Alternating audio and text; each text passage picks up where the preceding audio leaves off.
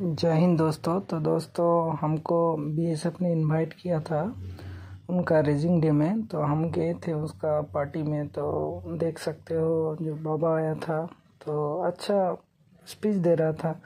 तो पूरा जवान सुन रहा था। तो मैं रिकॉर्ड में था।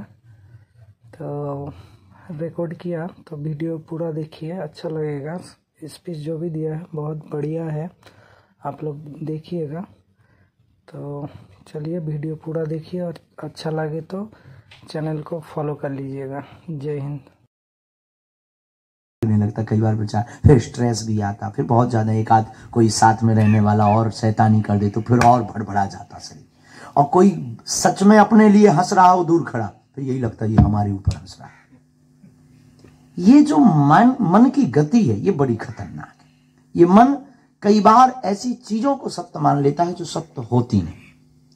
तो स्ट्रेस मुक्ति का सर्वोत्तम उपाय, या तो आप यहाँ व्यस्त बहुत रहते पर 12 घंटे की ड्यूटी करके आप पाँच मिनट मेडिटेशन करिए। ध्यान। ज़रूरी नहीं आप हनुमान जी का करो, राम जी का करो, आप जिनका जिनको मानते, अपने गुरु का ध्यान करो, अपने इष्ट का, आराध्य का, हमारे सरदार परंपरा से जो है, वो अपने गुरु ग्रंथ साहब का, जिनका भाव बने।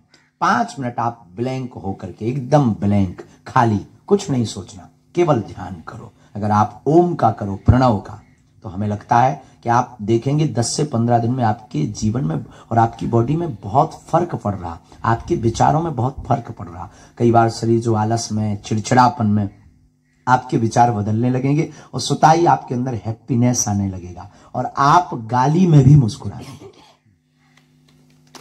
कोई उल्टा भी बोलेगा तब भी मुस्कुराएँगे स्ट्रेस मुक्ति का सर्वोत्तम उपाय है ध्यान, मेडिटेशन। पाँच मिनट, बहुत एक घंटा नहीं, दो घंटा नहीं, पाँच मिनट ध्यान। और ध्यान का मतलब आँख बंद करना नहीं। ध्यान का मतलब हमारी मती जो कहती आँख खुले में ध्यान हो, बेहतरीन ध्यान।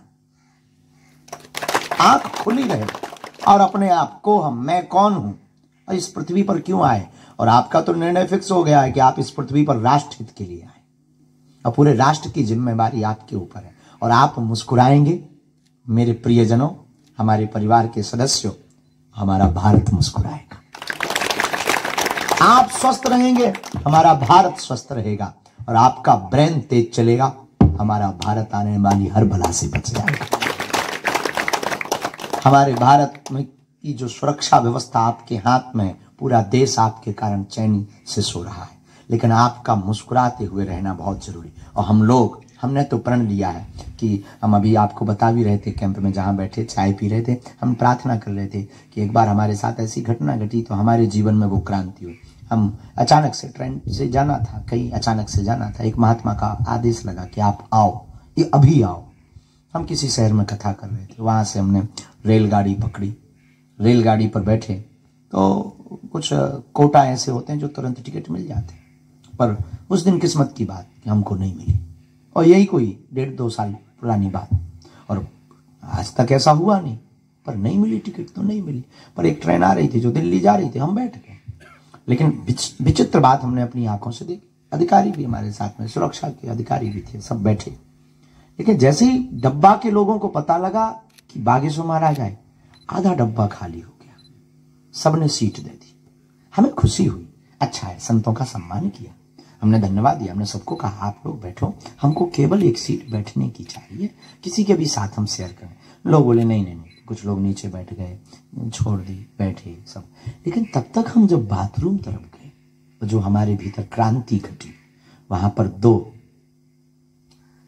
राष्ट्र की सेवा करने वाले बीएसएफ के जवान बाथरूम के पास अखबार बिछाकर बैठे थे तब हमारे मन को बहुत पीड़ा हुई कि यह देश कितना विचित्र है। एक कोई अभिनेता या कोई व्यक्ति उस बोगी में बैठ जाता है तो बोगी खाली हो जाती है। और सबसे बड़ा अभिनेता इस देश का, इस देश का हीरो कई महीनों बाद अपने घर पर परिवार से मिलने आता है, उसको एक सीट तक शेयर नहीं होती। उस दिन हमने प्रण लिया था कि अब जो भी होगा हमारे जीवन में, हम कुछ ना कुछ अपने शब्दों से भारत के लोगों को मोटिवेट करेंगे। और हम आपसे प्रार्थना करना चाहेंगे, आप सबसे कि आप मुस्कुराओ। मुस्कुराना ही जीवन। भगवान अच्छा आप पुराना जमाना आपको याद होगा। फ़ोटो वाला कैमरा चलता था, अब आजकल तो सेल्फी चल गई, मुँह टेढ़ा करे जैसे लोकवा लग गया हो। फ़ोटो खींच रही।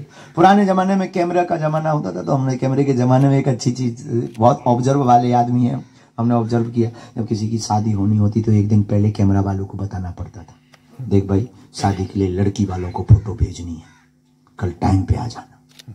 फिर दिन भर कैमरे वाले का इंतज़ार करते तीन चार बार पाउडर लगाकर थोड़ा बाल बाल ठीक करके लड़की को थोड़ा गोरा बदन जाना चाहिए।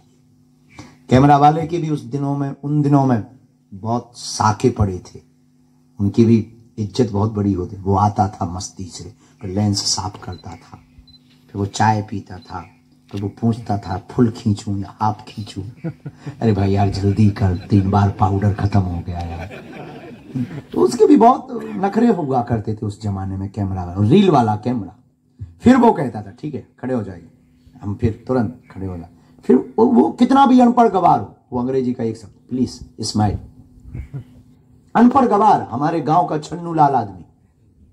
नाम उसका छन्नू लाल। अनपढ़ कभी स्कूल का मुँह नहीं देखा, लेकिन उसने कैमरा क्या खरीदा? प्लीज़ स्माइल बोलता था। और कभी वो अपना नाम नहीं लिख पाया ठीक से। वो प्लीज़ स्माइल बोलता था। वो हम लोग तुरंत, जैसे कैमरा वाला प्लीज़ स्माइल हम लोग तुरंत दांत निकाल बत्ती से बाहर हम मुस्कुरा देते थे। अब वो तुरंत फ़ोटो खींच देता था।